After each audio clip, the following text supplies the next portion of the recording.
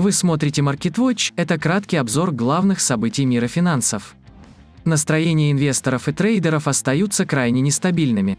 Напомню, что на следующей неделе в среду Федрезерв огласит результаты голосования по ключевой процентной ставке. Также инвесторов интересует готовность американского регулятора замедлять скорость повышения ключевой процентной ставки. Это во многом будет зависеть от данных по инфляции США, публикация которых запланирована на вторник – Поэтому появление прогноза, указывающего на снижение инфляции, уже оказало давление на доллар США.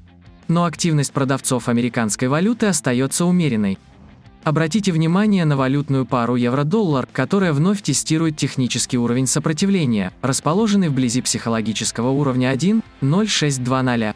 Также мы наблюдаем умеренный рост котировок валютной пары фунт-доллар и ряда других валют в паре с долларом США – тем не менее, активность покупателей остается умеренной, указывая на их неопределенность.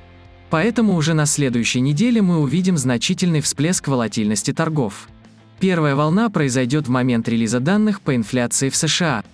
Затем все внимание трейдеров сместится на решение по ключевой процентной ставке Федрезерва, Банка Англии и ЕЦБ. Главным драйвером для финансовых рынков остается монетарная политика американского регулятора – она продолжает оказывать влияние не только на доллар США, но также на сырьевые активы, отображая изменение интереса к риску.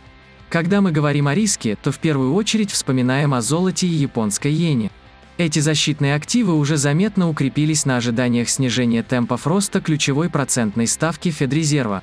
Но учитывая перспективу замедления мировой экономики, спрос на защитные активы может оставаться повышенным. Обратите внимание на золото, котировки которого вновь приближаются к важному техническому уровню сопротивления у отметки 1805 долларов за унцию. Это еще одно подтверждение того, что инвесторы верят в готовность Федрезерва замедлить скорость повышения ключевой процентной ставки. Поэтому бычий сценарий для золота остается актуальным в среднесрочном периоде.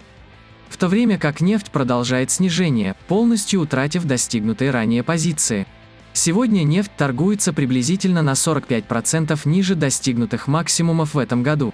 Технический анализ указывает на перспективу дальнейшего ее снижения. При этом важно учитывать готовность Китая быстро ослаблять карантин и внимательно следить за реакцией ОПЕК на обвал нефтяных котировок.